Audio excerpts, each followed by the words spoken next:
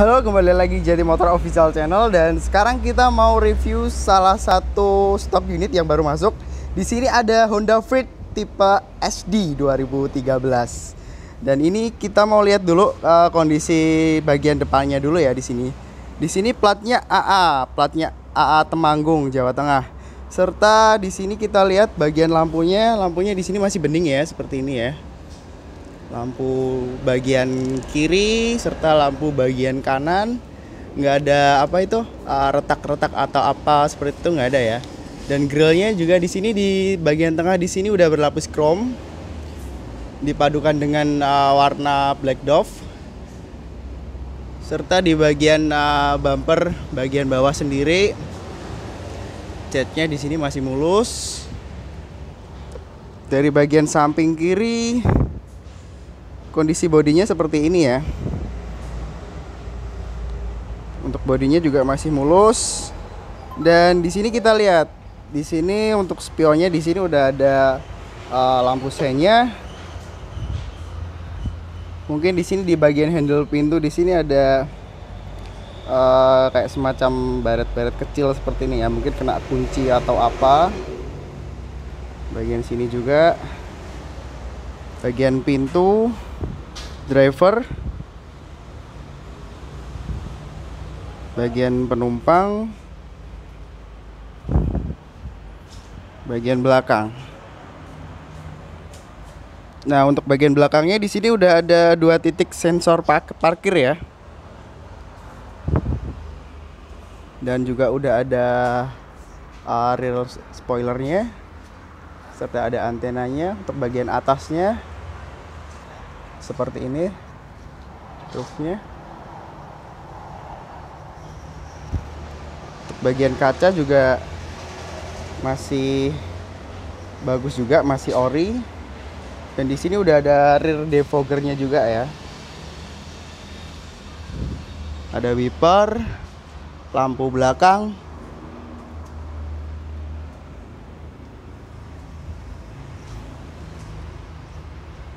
kita pindah ke bagian uh, sebelah bodi sebelah kiri. Bodi sebelah kiri. Kondisinya seperti ini. Bodi dan catnya juga masih mulus. Di bagian bodi sebelah kiri di sini masih mulus ya bagian hidup pintunya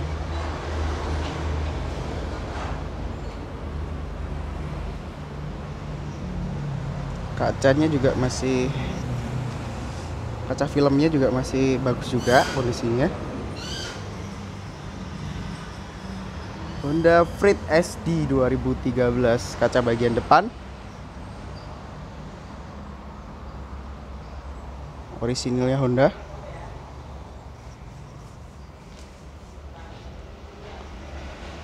Untuk kaca filmnya dia udah menggunakan Vicul Oke, pindah ke bagian roda atau ban. Kondisi bannya di sini masih tebal, velgnya juga masih bagus. Uh, velg velgnya di sini memakai R berapa ini? Velgnya memakai Oh ini, velgnya memakai R15 ukurannya dan profil bannya 18565 R15 kondisi bannya seperti ini ya. Ban dan velg. Sini kondisi ban bagian belakang masih sekitar 85 persenan.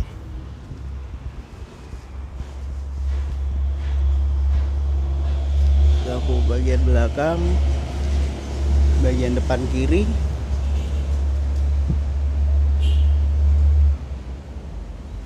seperti ini.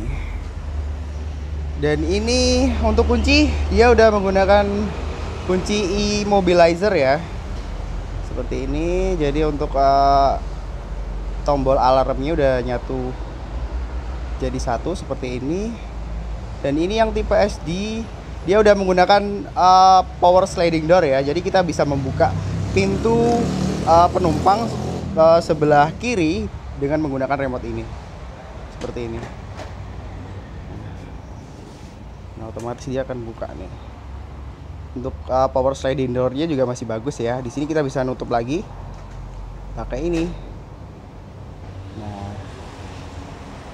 Fungsi power sliding doornya masih bagus. Sekarang kita pindah ke bagian driver seat. Ini soalnya review dadakan Driver seat, oke bagian interior. Bagian interior ini seperti ini ya. Ini kondisi door trim. Door trimnya di sini orinya seperti ini. Blue drew, ada motif kotak-kotak kecil-kecil seperti itu. Dan untuk bagian door trim di sini masih bagus ya. Untuk uh, tombol power window. Dan di sini ada untuk uh, cup holder di situ untuk uh, speaker. Dan untuk joknya di sini udah dilapis dengan kulit ya. Aslinya seperti ini sama kayak door trim tadi. Masih bagus sekali kondisi interiornya. Wow. Di sini setirnya. Lihat setirnya. Setirnya masih bagus ya. Ya masih ada apa? Tekstur jeruk purutnya masih ada ini untuk head unitnya bawaan Honda Freed dan juga untuk kondisi dashboardnya dia masih bagus sekali. Ini lihat nih uh, warna perpaduan antara warna black dan warna silver seperti ini masih bagus sekali ya. Sekarang kita coba uh, nyalain mesin. Oke. Okay. Tidak ribet, sorry.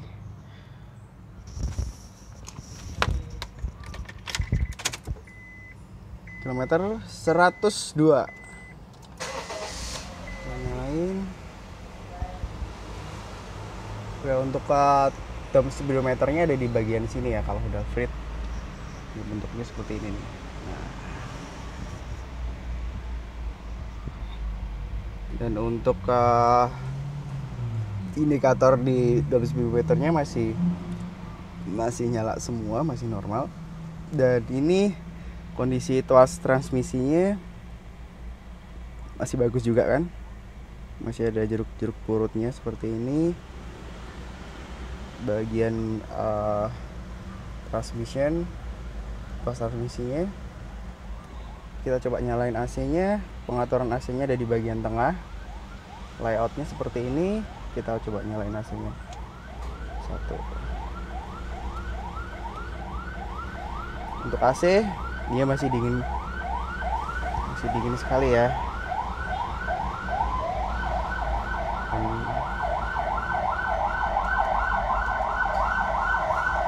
Oke, pindah di bagian sini. Ada cup holdernya juga. Di sini ada cup holder di bagian door trim tadi juga udah ada cup holdernya. Dan di sini bagian sini di sini ada untuk uh, electric mirror. Bagian sini dan ini untuk membuka pintu. Tombol membuka pintu samping. Nah kita pencet nih. Dia otomatis buka sendiri. Kita pencet lagi ya. Dia akan menutup sendiri komponen elektrikalnya masih masih normal semua. Di sini ada power socket. Di sini ada untuk ruang penyimpanan terbuka. Dan di sini ada remote-nya masih ada. Remote audionya.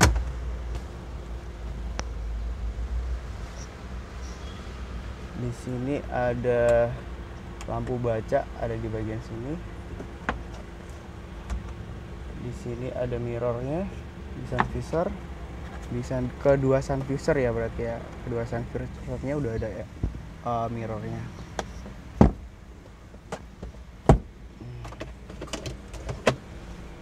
Oke okay. di sini lihat nih lega gitu ya tengahnya.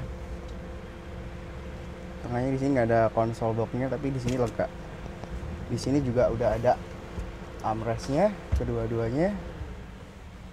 Oh ini ini tadi buat armrestnya belum dipasang sorry. Masih ada kok. Nih kan nanti kita pasangin pindah ke bagian belakang. Nah ini yang kalau yang kanan dia belum power sliding door ya dia bukanya masih manual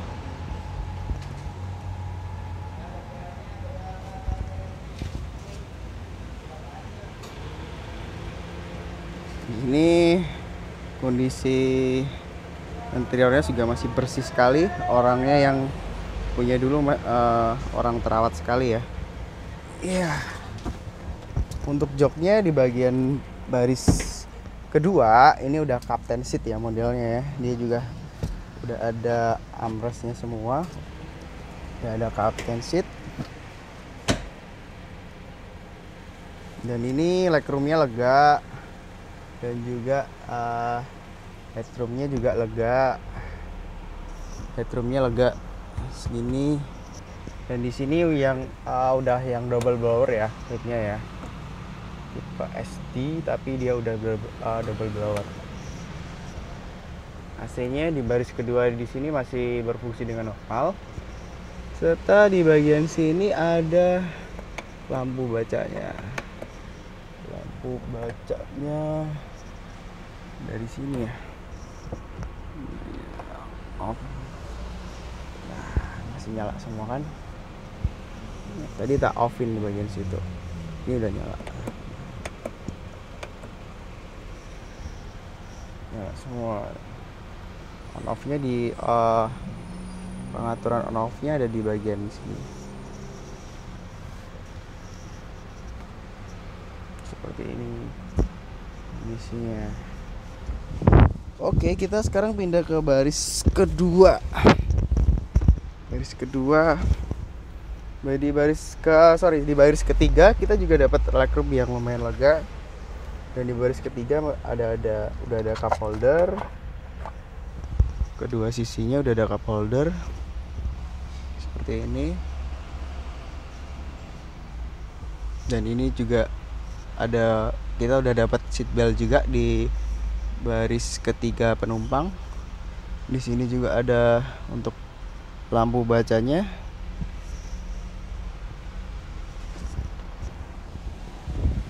AC-nya dingin. Wow. Sekarang kita pindah ke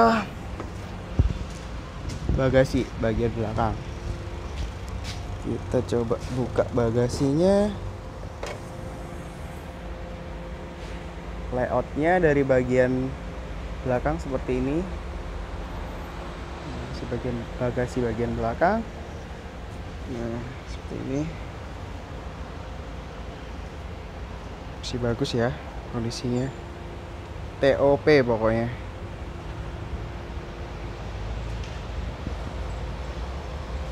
Nah ini untuk uh, bagasinya kita dapat sekian. Tapi jika ini masih kurang kita bisa melipat bagian baris ketiga untuk mendapatkan penyimpanan yang lebih modelnya ke sampingnya seperti ini ya. Kalau Honda Freed kita tinggal nyantolin ke situ sama kayak uh, apa? Sama kayak uh, Innova ataupun VR uh, VRZ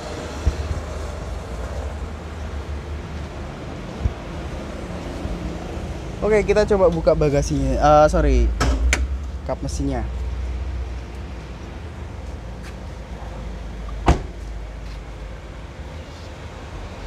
kita coba buka kap mesinnya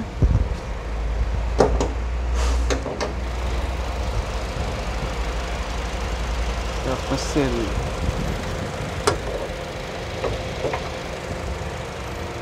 Nah ini layout kap mesinnya kap mesinnya seperti ini.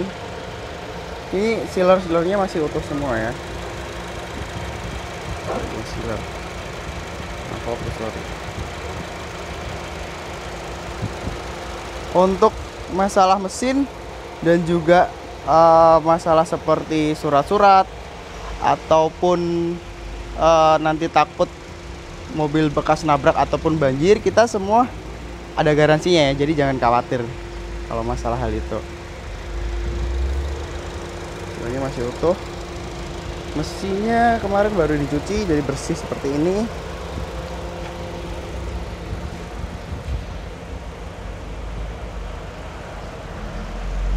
Honda Freed SD 2013 dari Jadi Motor Channel.